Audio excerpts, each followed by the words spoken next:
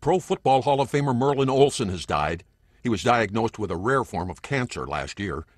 Olsen played college ball at Utah State and was a consensus All American in 1961 when he won the Outland Trophy as the nation's best interior lineman.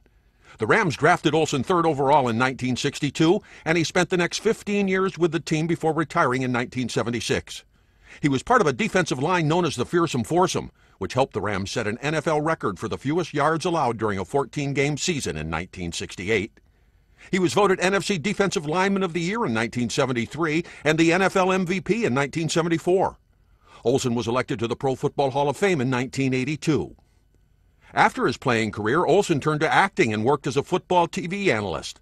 He appeared in Little House on the Prairie before starring in his own series, Father Murphy, from 1981 to 1983. Merlin Olsen was 69 years old. Jim Bell, The Associated Press.